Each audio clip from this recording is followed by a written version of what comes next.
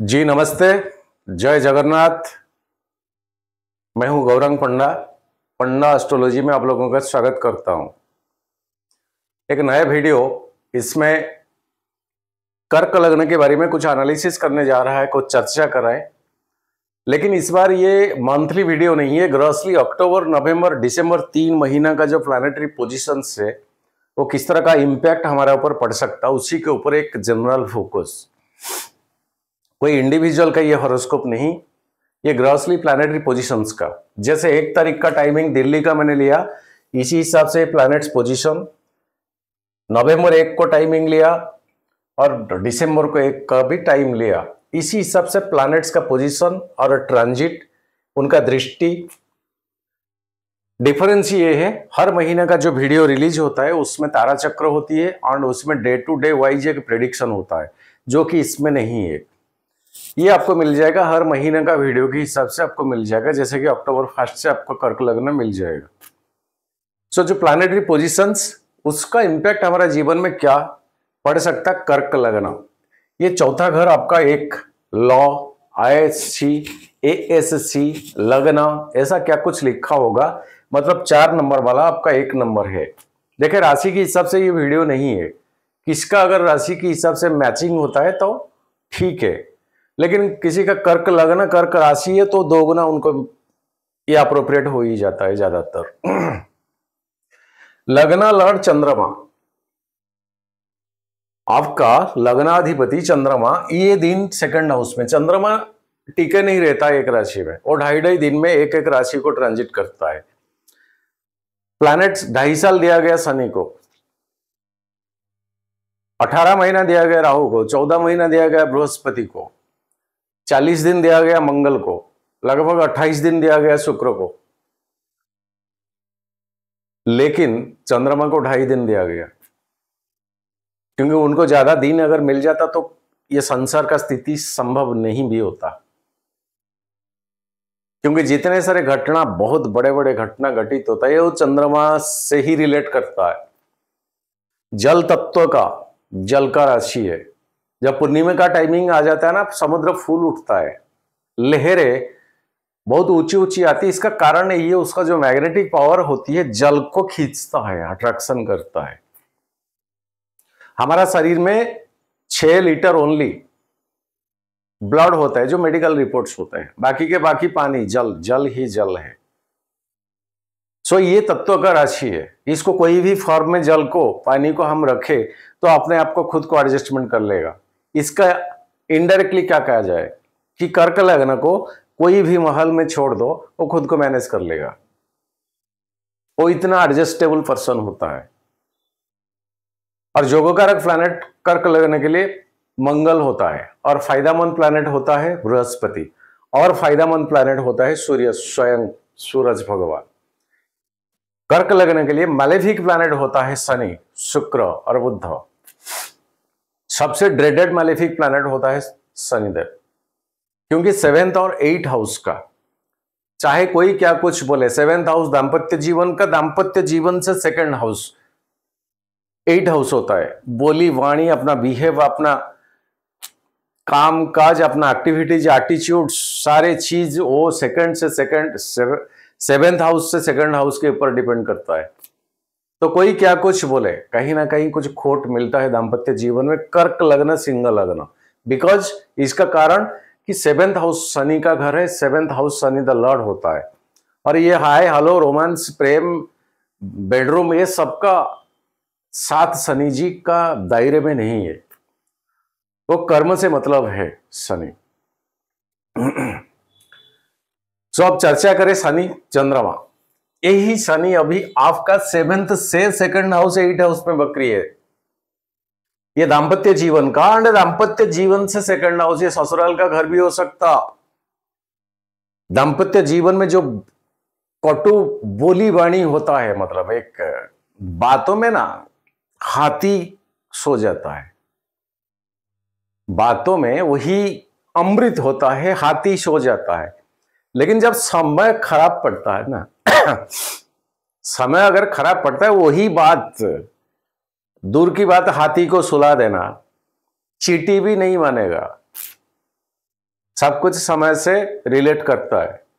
और अभी ये समय रिलेट ऐसा ही करता है आपका सेवेंथ हाउस का ओनर अभी बकरी है शनि। नक्षत्र बिलोंग्स करता है अभी शनिदेव, शुक्र का, जो शुक्र आपका चौथा घर का ओनर ऑल्सो इलेवेंथ हाउस का।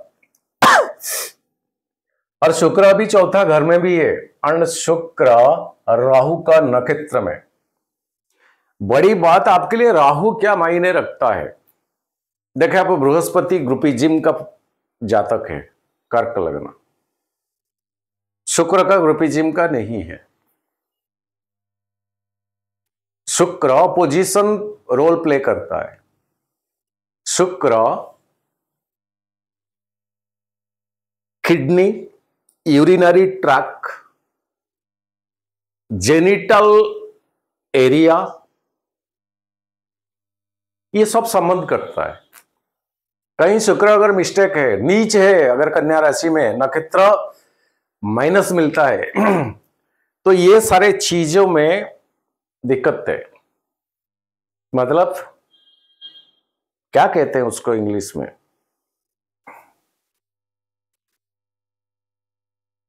जो होता है सेक्सुअली बैड टर्मिनेशन ऐसे क्या कुछ? मतलब जो कि इंसान की शरीर में उतना पॉजिटिव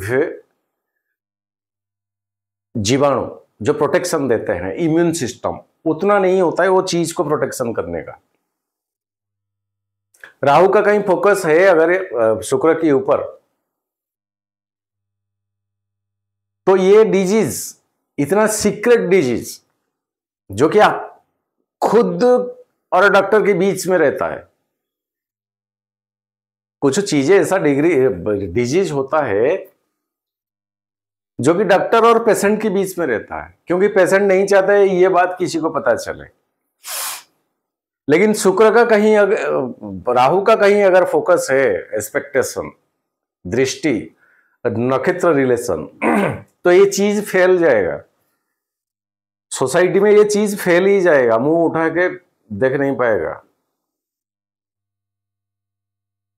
शुक्र उतना बेनिफिटेड नहीं है। जल तत्व का राशि का कारक है, शुक्र है किडनी का। थोड़ी सी जल पानी में पीते हैं हम जो पानी, कुछ भी अगर उसमें मिस्टेक होगा, तब तो यहाँ पर शुक्र कंसीडर नहीं करेंगे। और वो यूरिनरी ट्रक के साथ जोड़ता है।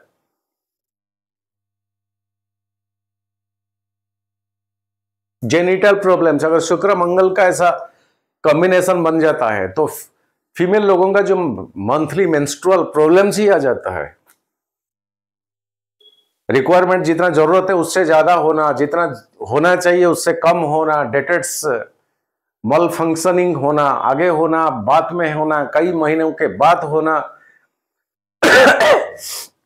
जब वो टाइमिंग आता है इतना दिक्कत इतना प्रॉब्लम शारीरिक तौर पे कई प्रॉब्लम्स ये ज्योतिष है। इसको हम इग्नोरेंस कभी नहीं कर सकते। सो so, ये सिचुएशन के ऊपर अगर कोई मालिफिक का दृष्टि अगर पड़ भी गया तो चीज़ें बढ़ेगा। और बढ़ाने वाला प्लैनेट बृहस्पति वो अगर बद्धतारा में है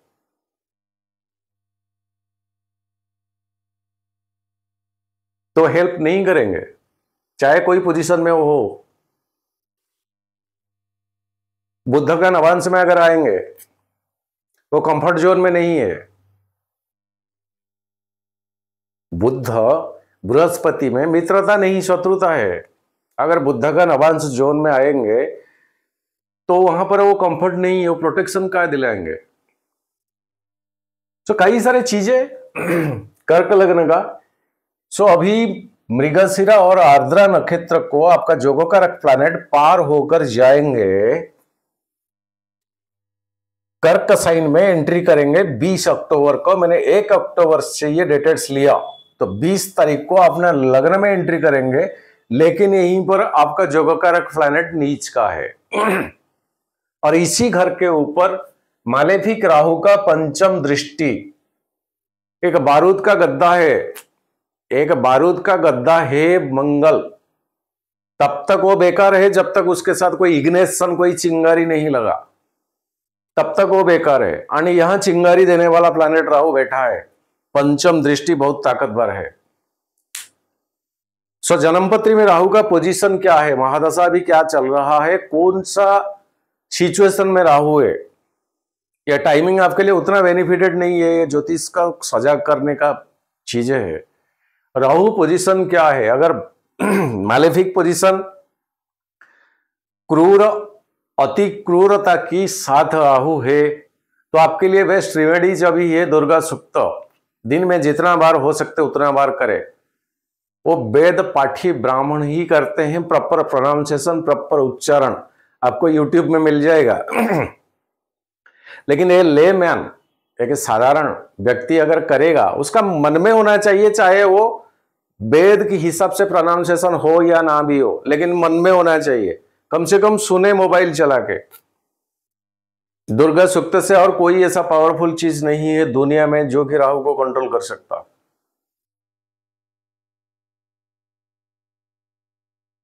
रहा कि और एक मालेफिक प्लानिट आपका शनि। वो किसका नक्षत्र में है? कहीं शनि के ऊपर आपका जन्म पत्री में बृहस्पति का पाँच, सात नौवा दृष्टि अगर पड़ रहा है तो थोड़ा कंसिडरेशन यहाँ थोड़ा थम जाएँगे शनि।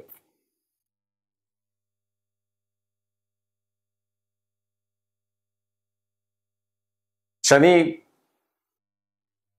अच्छा पोजीशन में अगर नहीं है, तीन, सात, दस दस को छोड़े तीन अंड सातवा दृष्टि में अगर आपका लग्न, लड़, चंद्रमा जन्म पत्री में है या तो आपका लग्न लड़ शनि के साथ से कहीं भी बीस दोष बनता है।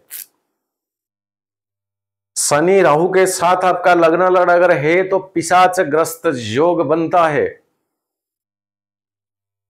यहाँ बाहरी लोगों का नज़र जल्दी लग जाता है। आप क्या खाते हो, क्या पहनते हो, कैसे चलते हो, कैसे खर्चा करते हो, ये चीज़ के ऊपर ना क्योंकि मैग्नेटिक जो फ़ील्ड जो ऑर्बिट होता है, हर इंसान के चारों तरफ़ जो मैग्नेटिक वेव होता है, वो कमज़ोर हो जाता है। तो इजीली किसी का नज़र आपके ऊपर लग ही जाता है। इसमें आप आप सोल्यूशन ढूंढ नहीं पाओगे कि मेरे को हो क्यों, हो क्या रहा है। वो जो कबज की तरह होता है, हमारा मैग्नेटिक फ़ील्ड स्वामी विवेकानंद जी का मैग्नेटिक फ़ील्ड दस मीटर तक था। हम तो ले मैन है, हम तो ऐसे कोई साधक, कोई कुछ नहीं है। हाँ कम से कम एक फिट तो होता है। हर कोई का, हर किसी का कुछ ना कुछ होता है। लेकिन वो इतना कमज़ोर पड़ जाता है, in accordingly the position of Shani के साथ चंद्रमा, शनि राहु के साथ चंद्रमा, या तो राहु के साथ चंद्रमा ग्रहण दोष, केतु के साथ चंद्रमा ग्रहण दोष, बृहस्पति चंद्रमा डिफरेंस छठा, आठवा, बारहवा अगर होता है तो सकटा योग चंद्रमा कहीं अकेला, आगे कोई प्लानेट नहीं है, पीछे कोई प्लानेट नहीं है, तब तो केमद्रुम योग। कई सारे चीज़ें चंद्रमा से लेकर कई सारे योग माइनस योग है।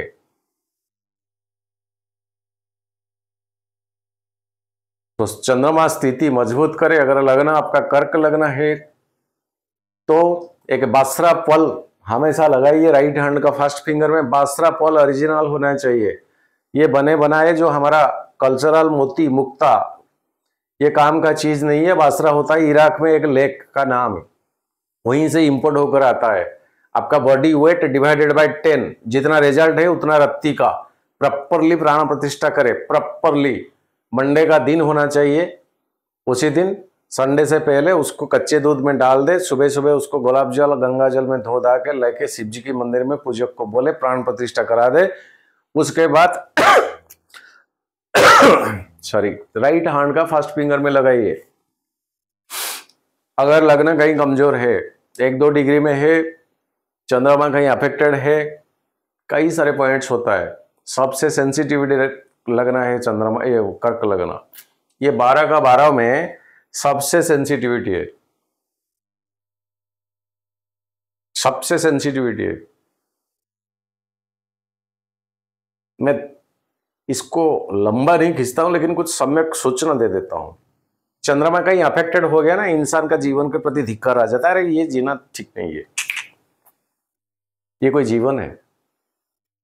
मैं इसको और लंबा नहीं खींचता हूँ। बहुत सारे मायने रखता है चंद्रमा के साथ, क्योंकि मन का कारक चंद्रमा और इंसान को मन ही हैंडल करता है। मन ही इंसान को हैंडल करता है। बेसिया के घर में जाए, मन शराब की दुकान में जाए, मन, मंदिर जाए, मन, सत्संग में बैठे, मन, ये मन सब कुछ मैनेज करता है। वो जिस एंगल से दौड़ेगा, उसी एंगल से इंसान ऑटोमेटिकली अपना शरीर को उसी एंगल से लेगा।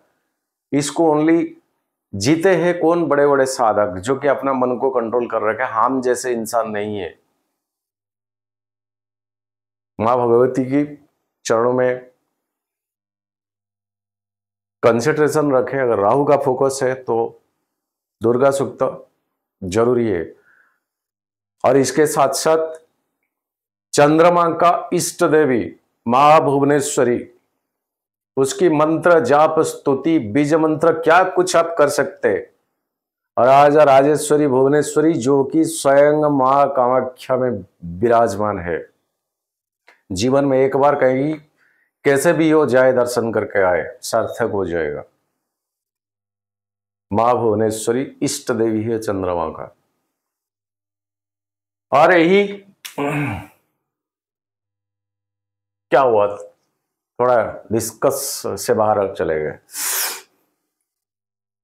और ये शनि अभी, आपका सेवेंथ एट का जो ओनर अभी बकरी में है, नवंबर में भी बकरी है। और राहु जैसे कि वैसे। लेकिन बृहस्पति अब मार्गी हो जाएँगे आपका नवंबर में। ओके? 9 अक्टूबर से बृहस्पति, एक तारीख से मैंने लिया है, इसलिए यहाँ आर नहीं लिखा। 9 अक्टूबर से मार्गी हो जाएँगे एंड स्ट्रेट होते होते 2025 4 फरवरी तक रहेंगे। तो आपके लिए नाइन्थ हाउस भाग्य भाव का अधिपति बृहस्पति अभी इलेवेंथ हाउस में बकरी। पहले तो अच्छा पोजीशन में है इलेवेंथ आया का। लेकिन बकरी जब होंगे, तब तो पीछे की की ओर ज़्यादातर फोकस रहेगा आपका टेंथ हाउस आपका कर्म भाव तो कई लिहाज से बृहस्पति आपके लिए बेनिफिटेड है, आपके लिए जो करेक्ट प्लानट समाज का जो बुज़ुर्गों लोग होते हैं, जो बुज़ुर्गों लोग होते हैं, वो बृहस्पति का कारकत्व है। उन्हीं का कुछ हेल्प कभी कभार कीजिए ताकि ऑटोमेटिक उनका मन से एक ब्लेसिंग आए कि बेटा थैंक यू जीते रहो। उदाहरण देता हूँ। मान के चले कोई एयरपोर्ट में, कोई स्टेशन में, ऐसे कोई बुज़ुर्गों, अपना लगेज उठा नहीं पा रहे या कुछ उनको दिक्कत है, उनको परेशानी। ऐसे में क्या कुछ हेल्प करे ताकि उनका मन से ये आत्मा से एक थैंक यू आए। हेल्प करे। बुज़ुर्गों को। अगर बृहस्पति का पोजीशन जन्म पत्री में ठीक ठाक नहीं है तो ये करे, जितना ब्लेसिंग आप अर्जित करोगे, बृहस्पति आपका उतना स्ट्रांग सब कुछ है यूनिवर्स में, सारे रिमेडीज है यूनिवर्स में है। और ये शरीर में है, और आपका मन से जुड़ा हुआ है। रिमेडीज आप खुद करोगे। कोई बाहर का चीज़ नहीं है। क्या कुछ पास्ट लाइफ में मिस्टेक किए, इसी जन्म में इसको रेक्टिफिकेशन तो कर सकते कम से कम, ताकि आइंदा ना हो, किए हुए काम रेक्टिफाइड ना हो, या हो, अलग सा बात। कम से कम और प्लस ना हो। ये है ज्योतिष। कि भाई कम से कम प्लस ना करे। क्योंकि क्या कुछ किए हुए वजह से ही ये सब चीज़ें भुगतना पड़ता है। और दिसंबर में भी शनिदेव स्वयं आपका अष्टम स्थान में स्ट्रेट हो जाएँगे। बाकी कई प्लैनेट्स आपका वैसे ही वैसे शिवाय शुक्र। सूर्य आ जाएँगे आपका पंचम स्थान को, जो कि आपका बेनिफिटेड प्लैनेट है। ये अपना नीच डेबिलिटेटेड जोन को पास करके आएँगे। मतलब अक्टूबर महीना में सूर्य आपका कन्या साइन में थर्ड हाउस में। नवंबर महीने में सूर्य नीच हो जाएँगे आपका फोर्थ हाउस में। दिसंबर महीने में फिफ्थ हाउस को चले जाएँगे। दिसंबर महीने में। सो तीन महीने में सूर्य का ट्रांजिट तीन, चार, पाँच। एक नीच का घर आता है। और सूर्य आपका सेकंड हाउस का। अपना जो शरीर का जो पर्सनालिटी का जो ग्रेविटी होता है, भगवान सूरज देता है, वो एक साइनिंग एक ग्लेज होता है शरीर से। ये भगवान सूरज ही देते हैं प्लेसमेंट के हिसाब से। पैसा ना है ठीक है। पैसों से मतलब नहीं है। सूरज भगवान का जो जन्मपत्री में पोजीशन वो बातों में बहुत दम रखता है। वो बंदा वो पर्सन का बातों में बहुत दम रखता है। सो so, ये ट्रांजिट तीन तारीख अक्टूबर माँ भगवती संसार को खुद आ रहा है भक्तजनों का दुख, सुख सुनने के लिए। घर में अगर आपका पूजन है तो ठीक है, मेरे तरफ़ से माँ के चरण में कोटि कोटि बंधन ये दिखावा का नवरात्र है। कोई अगर चाहे तो मेरे से आप जोड़ सकते, जैसे हम कई पूजा बीच बीच में, जैसे नवरात्रि, जैसे आपका शिवरात्रि, ये सब जो होता है। तो इस बार भी ये होगा। इसमें कंट्रीब्यूशन अगर मन करे तो भेजने का, इसमें एक सेक्शन अगर चाहे, जैसे नौ दिन का नौ साड़ी चाहिए माँ को, नौ दिन तक कुछ लकड़ी, जैसे होम हवन के लिए चाहिए, नौ दिन तक देसी गाय का घी चाहिए, नौ दिन तक प्रसाद चाहिए, नौ दिन के बाद एक ब्राह्मण भोजन चाहिए मतलब कई सारे जो प्रक्रिया इसमें होता है, इसमें कौन सा सेक्शन अगर आप इंटरेस्टेड हो तो आप डायरेक्ट व्हाट्सएप में मेरे को लिख सकते हैं, मैं बता दूँगा आपको। उसी हिसाब से कंट्रीब्यूशन भेजे, लेकिन नाम, राशि, लग्न, गोत्र ज़रूरी है। छोटा सा वीडियो, जैसे महीने का वीडियो एक तारीख से होता है, वैसे आपको कर्क लग्न मिल जाएगा अक्टूबर महीने में। मन करा ऐसे ग्रसली लिए प्लानिटरी पोजिशंस का। एक छोटा सा वीडियो बनाए। बस विदा दीजिए, आज के लिए इतना। नमस्ते। सर्वे भवन्तु सुखिना, सर्वे संतु निरामया, सर्वे भद्राणी पश्यंतु माँ कश्चि दुख भवेत जय जगन्नाथ जय जगन्नाथ जय जगन्नाथ।